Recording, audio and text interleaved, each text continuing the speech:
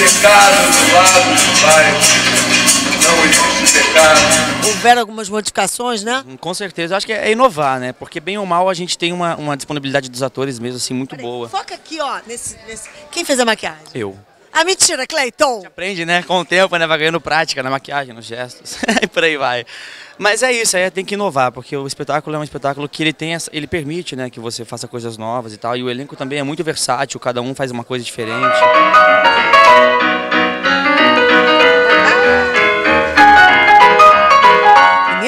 Ele não tem nada. Isso sobe, isso cresce no palco.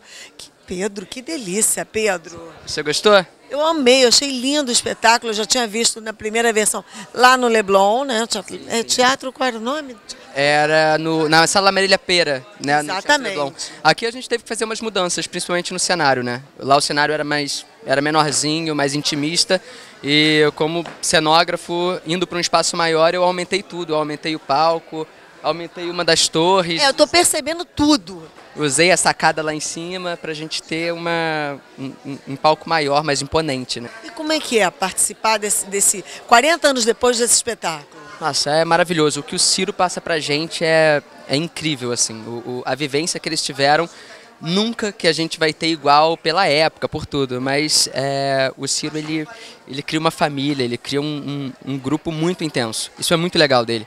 Eu fiz o cenário, mas essas cabeças todas que vocês veem pintadas aí, eu dei uma cabeça pra cada um. Galera, vamos pintar. Vamos botar um pouco da gente nisso aqui. E esse é o espírito do Dizi, né? Da gente botar o nosso, botar o que é nosso e fazer um novo Dizi.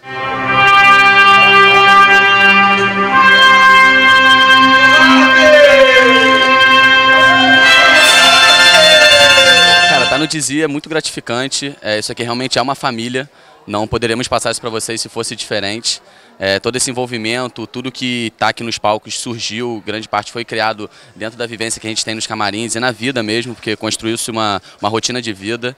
É, tentamos pegar a originalidade do que era o Dizia antigamente, né? Não estamos aqui fazendo um, um revival ou, ou coisa assim, estamos buscando pela, pelo grito que é dos nossos tempos hoje em dia. É, o Dizia teve o grito deles na ditadura, a gente tem o nosso grito agora nessa hipocrisia que continuamos vivendo, né? Nessa, nesse teatro que ainda, é, ainda tem as rédeas presas no- nos empresários, nessa dependência do, do- do financeiro para executar uma boa peça. E aqui a gente prova que basta ter um pouquinho de amor e vontade de se divertir em cena que dá tudo certo.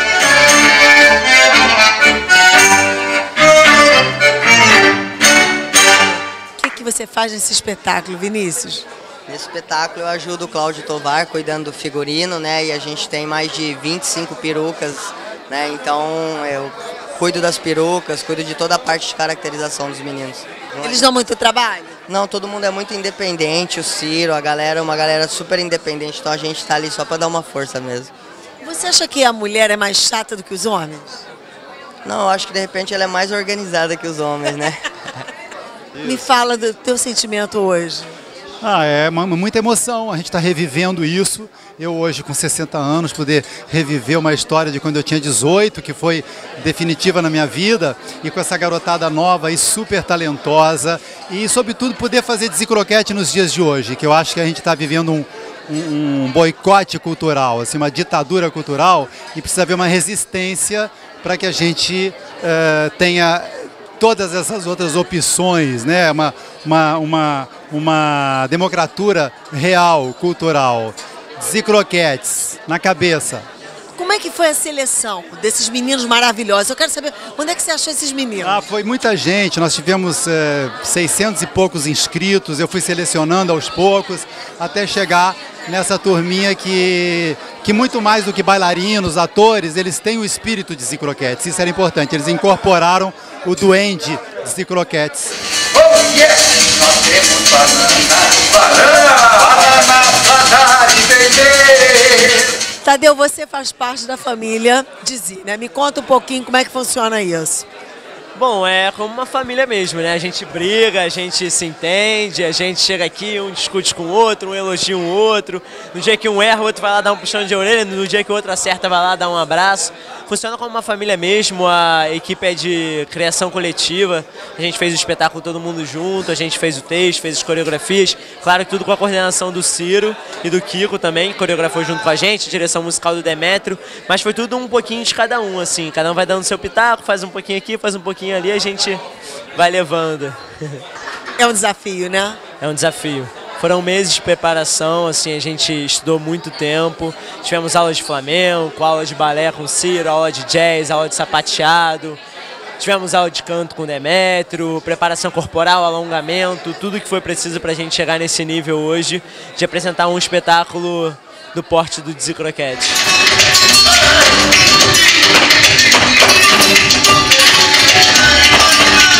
Como é você atuar na família Dizzy? E como é que foi para você entrar nessa companhia? Porque é uma companhia, né?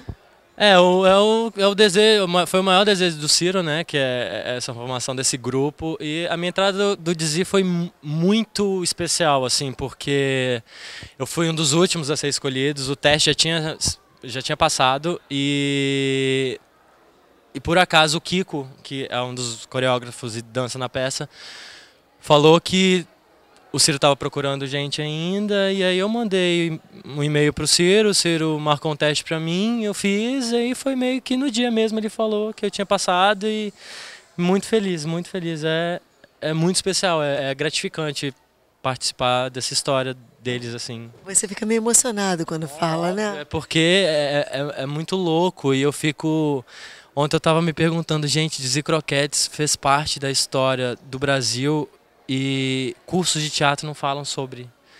Quando eu entrei no, no Croquetes, eu confesso que eu não sabia também. E quando eu comecei a pesquisar tudo e, e, e ler, eu falei, gente, como? Como que eu, que eu não sabia disso, sabe?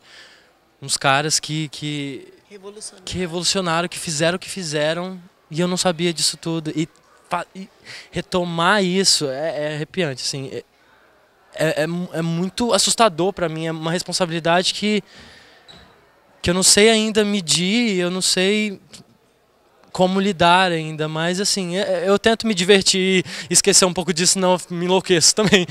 é muita loucura, uma pessoa só. Então, eu relaxo e dizer croquetes é, é muito especial. It's time to say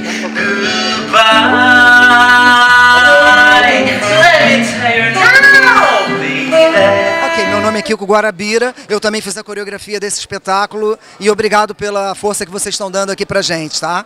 Não perdão, Zicroquetes, venham ver que vale a pena. Garanto para você, a Cida veio, conferiu, se emocionou e viu que Dizzy Croquete está aí com tudo, depois de 40 anos, super na moda.